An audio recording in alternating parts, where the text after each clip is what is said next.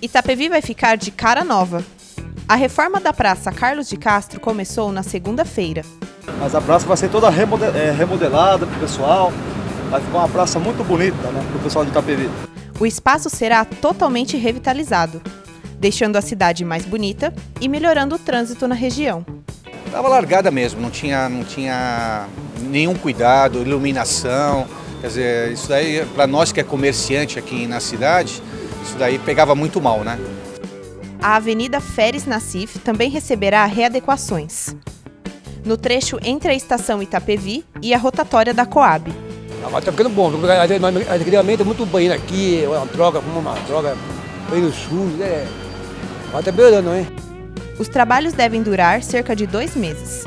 As intervenções integram o programa Cidade Bela.